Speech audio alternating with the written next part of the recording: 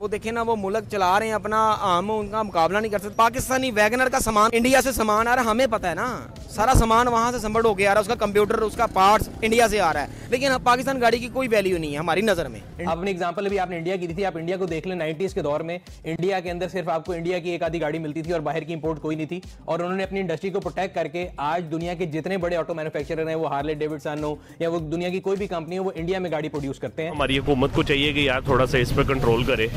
कि हम भी मतलब हम भी एक मिडिल क्लास फैमिली से बिलोंग करते हैं तो हम भी कोई मतलब अपने लिए कोई अच्छी सी गाड़ी खरीद सकें। इंडिया की मैन्युफैक्चरिंग अपनी है हमारी मैन्युफैक्चरिंग क्या हम सिर्फ़ दूसरों की गाड़ियाँ मैन्युफैक्चर कर यार ये सत्रह मॉडल है इसका हम मांग रहे हैं साढ़े नौ लाख रुपया और विदाउट ए सी आई है एक मवाजना करें तो पाकिस्तान में गाड़ी आपको बड़ी महँगी नज़र आती है और खास करके दो तीन सालों में तो गाड़ियाँ इतनी महँगी हो गई हैं कि शायद जो मुतवसत तबका है या जो आम आदमी अगर गाड़ी खरीदने का सोच भी रहा था तो शायद उसकी सोच से भी अब बाहर है।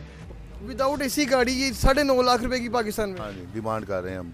ठीक है। इसमें एयर बैग है? तो इसमें एयरबैग भी नहीं है इसमें लॉयर टायर भी नहीं है इसमें रिटेक मिरर भी नहीं है इसमें मतलब वो सिंपल गाड़ी है और नई गाड़ी तो आम पब्लिक की जो है ना पहुँच से बहुत दूर हो गई है। कंपैरिजन की बात करें देखें बहुत से लोग कंपैरिजन करते हैं हमारा जो पड़ोसी मुल्क है भारत के साथ कि वहाँ पर तो गाड़ी सस्ती है। नमस्कार दोस्तों मैं हूँ लक्ष्य अगर आप डायरेक्टली वीडियो देखना चाहते हैं तो वीडियो के ऊपर टाइमर शो कर रहा है, आप वहाँ तक स्किप करके डायरेक्टली सीधे वीडियो देख सकते हैं।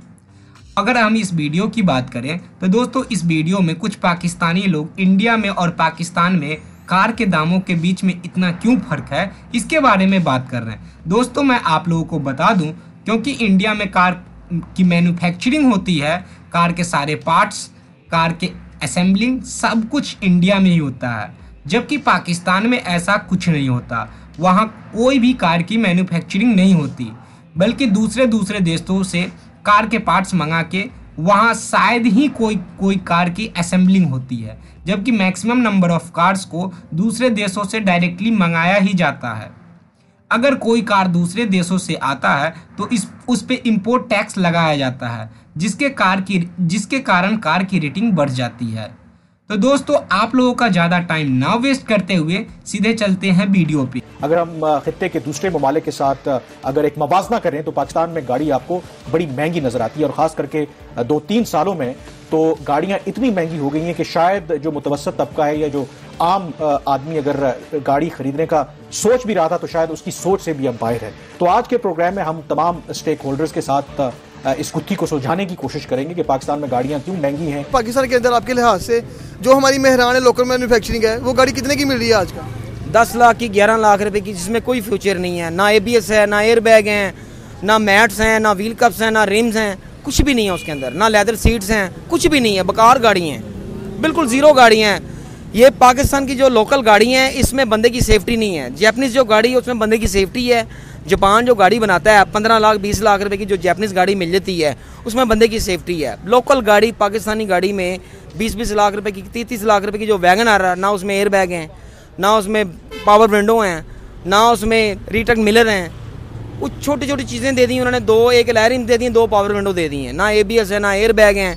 ये बकार चीज़ें हैं पाकिस्तानी गाड़ियों की, हमारी नज़र में। में सबसे ज़्यादा इंपॉर्टेंट जो चीज़ है, क्योंकि परसेप्शन हमारे यहाँ यही है कि हमारे यहाँ गाड़ी बड़ी महँगी है। ना सिर्फ़ नई गाड़ी, बल्कि ये हकीकत भी है कि जो 20 साल पुरानी गाड़ी है, वो भी अगर आप खरीदने जाएँ तो उसकी भी कीमतें आसमान से बातें करती हैं। हालाँकि तरक्की याफ्ता ममालिक में अगर आप जाएँ तो वहाँ पर जो पुरानी गाड़ी है, उसको जान छुड़ाना आपके लिए एक बहुत बड़ा अजाब बन जाता है। अगर आप थोड़ा सा ज़िक्र करें कि कंपैरिजन की बात करें। देखें बहुत से लोग कंपैरिजन करते हैं हमारा जो पड़ोसी मुल्क है भारत के साथ, कि वहाँ पर तो गाड़ी सस्ती है। एक फैक्टर शहबाज ने भी ज़िक्र किया कि जो लोकलाइजेशन है कि अगर आप लोकली गाड़ियाँ प्रोड्यूस कर रहे हैं तो ज़ाहिर है कि उसका इम्पैक्ट डॉलर का इम्पैक्ट कम से कम होगा। ये गाड़ियों के मार्केट के आजकल बड़ा रेट हाई हुए है क्या वजह है? यहाँ पे तो पाकिस्तान की सबसे सस्ती गाड़ी की कीमत तो बताएँ कितनी है। सर इस टाइम सबसे गाड़ी सस्ती गाड़ी मेहरान होती थी जिसकी अभी भी कीमत 12 लाख रुपए पहुँच गया इस टाइम सस्ती गाड़ी 25 लाख रुपए की है पाकिस्तान के अंदर।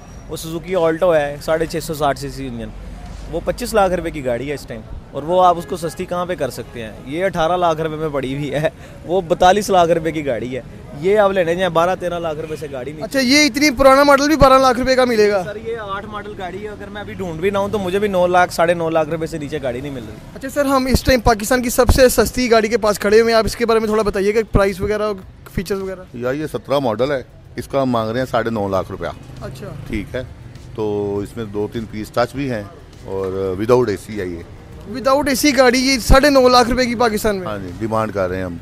ठीक है। इसमें एयर बैग है?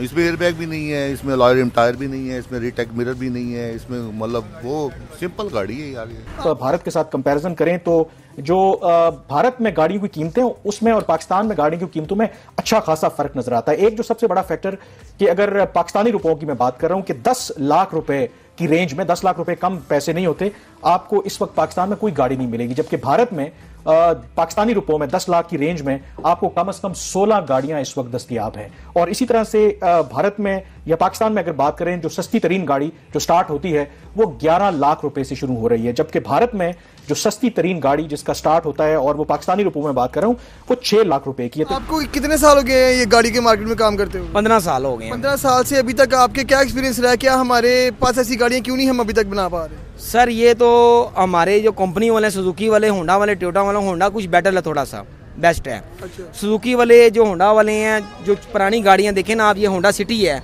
ये 16 मॉडल खड़ी हुई है। इस टाइम ये निकली थी ज़ीरो मीटर सतारह लाख रुपए में ठीक है? अच्छा। इसमें रीटेक भी नहीं है। अब ये गाड़ी बिक्री पच्चीस लाख रुपए की। इसमें रीटेक मिलर नहीं है। कोई फ्यूचर नहीं है पाकिस्तानी गाड़ियों में। होंडा में है जो होंडा फुल ऑप्शन वाली आर एस है जो उसमें फ्यूचर हैं। लोकल गाड़ियों में ऑल्टो में पाकिस्तानी कल्टस में वैगनर में मेहरान में कोई फ्यूचर नहीं है। सेफ्टी नहीं है इंसान की। सर ये जो हमारे पाकिस्तान में माफ़ी है ना सुजुकी वाला होंडा वाला या टोयोटा वाला ये बहुत बड़ा माफ़ी है। इनको कोई पूछने वाला नहीं है। इनको अल्लाह ही पूछेगा जो पूछेगा। लोकल बंदा कोई नहीं पूछ सकता। ना ओन देख लें आप गाड़ियों के कितने कितने ओन है। वैगनर देख लें एजीएस जो उसी सत्ताईस लाख समथिंग की है। ठीक है? और जो ऑल्टो है छोटी सी गाड़ी उसमें ना एयर बैग हैं, ना फोर पावर विंडो हैं, ना मैट मैट है, उसके अंदर कोई चीज़ ऐसी देते नहीं है। पच्चीस पच्चीस लाख रुपए गाड़ी। तो यहाँ पर एक कंपैरिजन भी आपको थोड़ा देते चले कि फॉर एग्जांपल जो हमारी टीम ने भी रिसर्च की है कि भारत में अगर आप देखें ऑल्टो जो मरुति ऑल्टो से कहते हैं सुजुकी का ही ब्रांड है उसकी जो स्टार्टिंग प्राइस है वहाँ पर वो तकरीबन तीन लाख रुपए भारतीय रुपयों में है। अगर आप उसको पाकिस्तानी रुपए में कन्वर्ट करेंगे तो वो बनती है कोई छह लाख साठ हज़ार रुपए। लेकिन ऑन दी अदर हैंड अगर पाकिस्तान में इसी ऑल्टो की बात करें तो इस वक्त उसकी जो स्टार्टिंग प्राइस है, वो 12 लाख रुपए है। और 12 लाख में भी आपको उसमें एसी और बाकी फैसिलिटीज़ उस गाड़ी में नहीं मिलती। ये सिर्फ़ एक ब्रांड की बात हो रही है। इसके अलावा भी अगर आप देखें तो बहुत से आपके पास ब्रांड है। मसलन रेनो है। उसकी कीमत कोई पाकिस्तानी छह लाख छियासी हज़ार रुपए बनती है। इसी तरह से डाटसन की एक गाड़ी है। वो भी इसी रेंज में आती है, वो छह लाख बाईस हज़ार रुपए में पाकिस्तानी रुपयों में आपको मिल सकती है। पाकिस्तान में आप इसका तस्वुर भी नहीं कर सकते। एक और जो फैक्टर बड़ा ज़रूरी है, ये तो गाड़ियों का कंपैरिजन किया, जो भारत में इस वक्त आपको मॉडल्स मिल रहे हैं। वो लेटेस्ट मॉडल की गाड़ियाँ आपको नज़र आएँगी वहाँ पर। पाकिस्तान में पुराने जनरेशन की गाड़ियाँ। एक उसकी एग्ज़ाम्पल आपको छोटी सी देते हैं कि पाकिस्तान में इस वक्त जो सुजुकी स्विफ्ट है, वो सेकंड जनरेशन इस वक्त आपको अवेलेबल है। और उसकी जो प्राइस है स्टार्टिंग प्राइस वो 20 लाख तीस हज़ार से शुरू होती है।